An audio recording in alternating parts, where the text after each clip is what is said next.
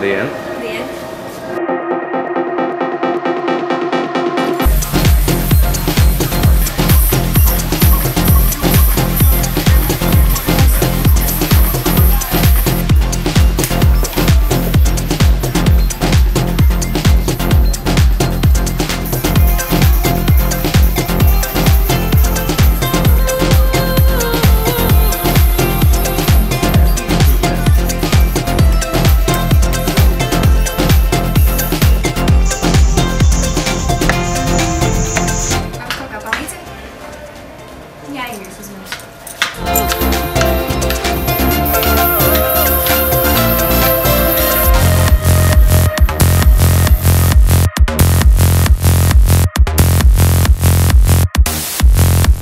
Jums? Че, маленький, что ли? Сам справлюсь.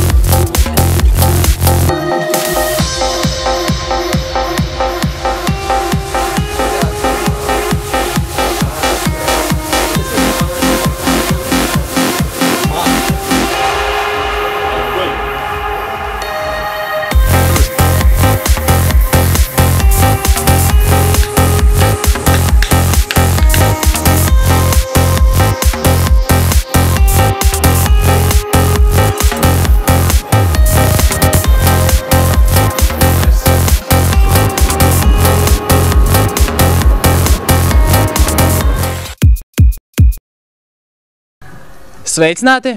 Dubultais pīs un vēl čau, dažādi veidi cita vārdi. Es atrodos Origo trešajā stāvā sports outlet veikalā. Un ar jums eh, esam mēs kā vienmēr un arī viņi, kas vienmēr, ja? Un tāpēc tagad es gribēju pajautāt šim jaukajam cilvēkam, ko viņš grib pateikt mums. Tātad esmu sarīkojuši konkursu. Mums ir trīs krekli. Parādīšu kādi. Nu, ko tu pateiksi par šo krekliņu?